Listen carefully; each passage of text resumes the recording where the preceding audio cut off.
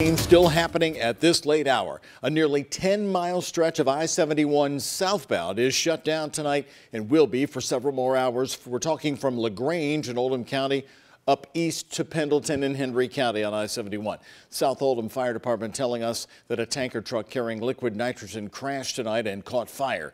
Kentucky State Police say several other vehicles are also involved. The good news we just got a few moments ago, South Oldham Fire Department telling us it does not appear the liquid nitrogen is leaking at all and the firefighting efforts have been successful on the tanker.